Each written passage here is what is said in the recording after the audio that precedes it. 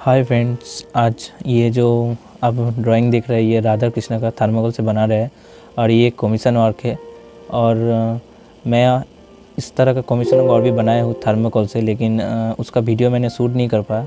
इसका video shoot भी किया है, और मैं थोड़ा बोल भी दूँगा इसे कैसे बनाते हैं। ऐसे इस तरह का वीडियो मैं इस चैनल पर नहीं डालता हूँ।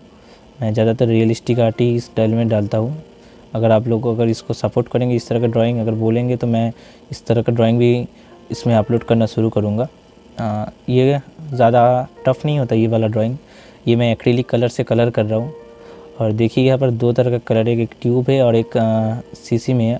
और बहुत सारे लोग देखा है मैं एक्रीलिक कलर और फैब्रिक कलर दोनों में पहचानने में गलती कर देता है।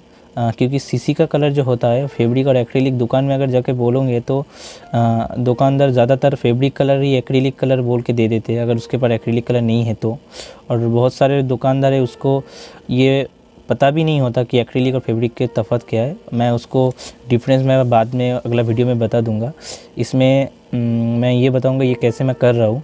देखिए मैंने जहाँ जहाँ पे जो जो कलर देना है मैंने पहले बेस कलर दे दिया। अ, पहले सिंपल सा बेस कलर दे दिया। उसके बाद थोड़ा थोड़ा कलर लेके अब इसमें शेडिंग करेंगे। पहले और कुछ कुछ जगह में छोटा छोटा डिटेल्स है, उसमें थोड़ा ऐसे ही फ़र्स्ट टाइम कोई शेडिंग मतलब कोई फास्ट लेयर सेकेंड लेयर ऐसा कुछ नहीं दे रहा है। पहले एक बार में ही कर दे रहा है, जैसे ट्री कर दिए और वो जो मोर का पालक है उसको कर दिए। और बाकी सारे देखिए, पहले मैंने बेस कलर दे दी, उसके बाद वो सूखने के बाद थोड़ा डार्क बना के वही वाला कलर से थोड़ा सेट दे दे रहा है।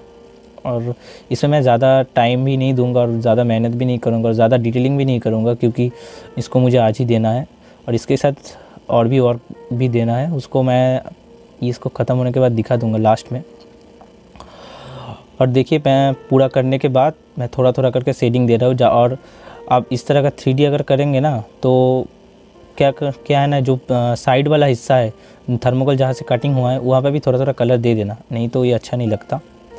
और आपको लगेगा शेडिंग होने के बाद ना आप मार्कर से भी कर सकते हैं या ब्रश से भी कर सकते हैं ब्लैक कलर से आउटलाइन कर देते इससे अच्छा लगता है देखना।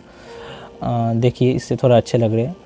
और ये और भी कर, और भी जो मैंने बोला था इसका ये सारे कमीशन हो रहा। है देखिए ये वाला भी थर्मोकोल से सारा जो देख रहे हैं ये थर्मोकोल से बनाया हुआ है और ये ये पूरा कंप्लीट हो गया इसका। और जाने से पहले जब मैं इसको देने जाऊँगा, तब इसके कान में दो इयरिंग लगा दूँगा छोटे छोटे और एक देखिए, बहू है, इसके कान में भी एक बड़ा वाला इयरिंग लगा दूँगा। ओके फ्रेंड्स देखने के लिए शुक्रिया। और और मेरे चैनल को सपोर्ट कीजिए।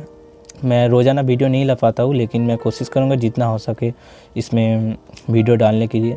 Okay bye friends and thanks for watching